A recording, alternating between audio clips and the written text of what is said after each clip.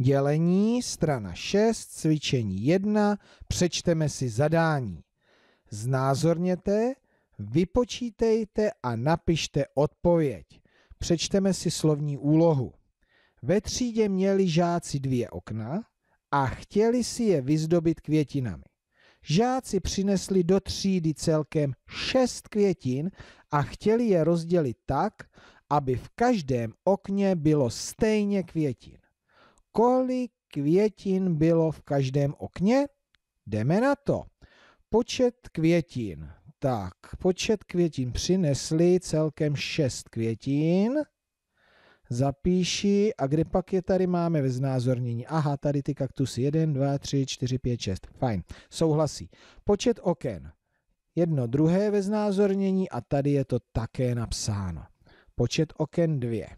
No, a chtěli si ta okna vyzdobit tak, aby tam dali těch šest květin, ale v obou oknech bylo stejně. Tak já to budu rozdělovat.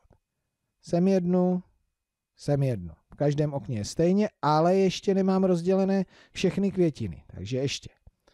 Sem jednu, sem taky. V obou oknech stejně, ale není ještě rozděleno všechno.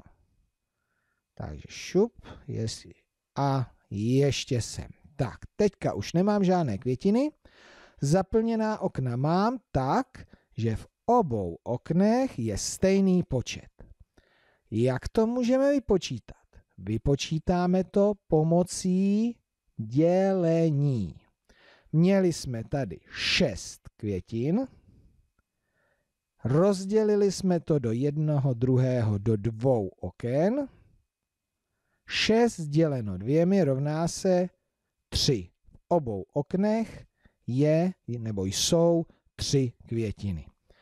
Tak, kolik květin bylo v každém okně?